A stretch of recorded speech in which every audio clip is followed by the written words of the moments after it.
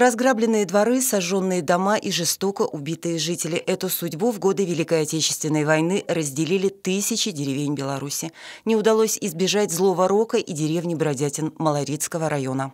Немецко-фашистские захватчики в эту деревню приходили не один раз. В 1942 году, примерно в августе месяце, была сделана попытка брестским и малорицким гестапо с использованием полицаев собрать этой деревне просто контрибуцию.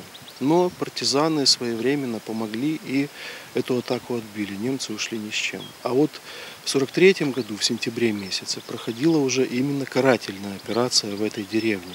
Фашисты взяли деревню в кольцо, выставив по периметру посты.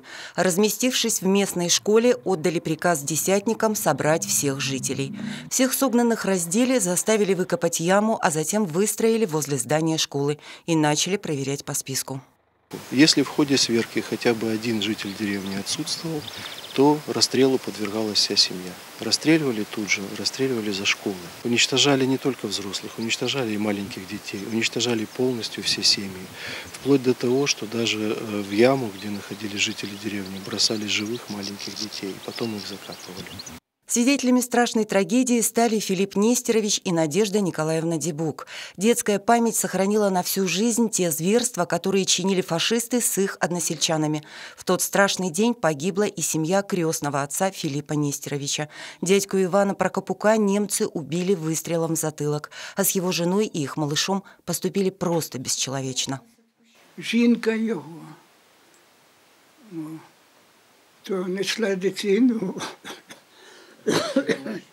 на руках. П'ять місяців було йому, що вихватив з рук і бросили.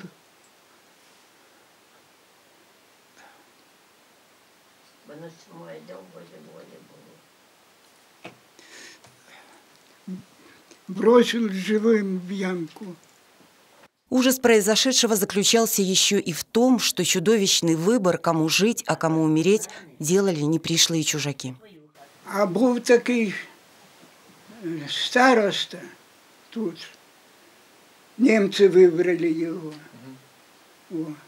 И он писал, кого бити.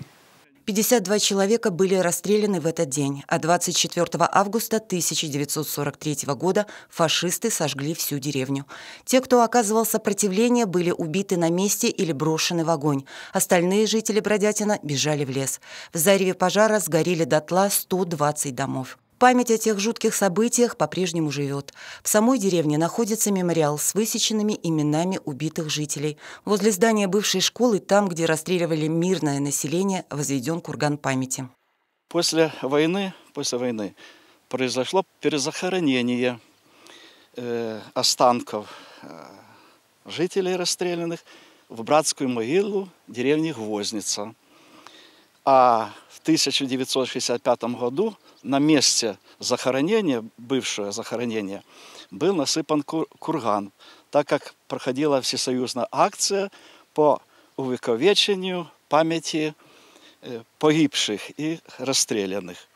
Память о случившемся в Бродятине трепетно хранят, ведь у этой трагедии не может быть срока давности. Наталья Луговкина, Александр Сивицкий, телерадиокомпания «Брест».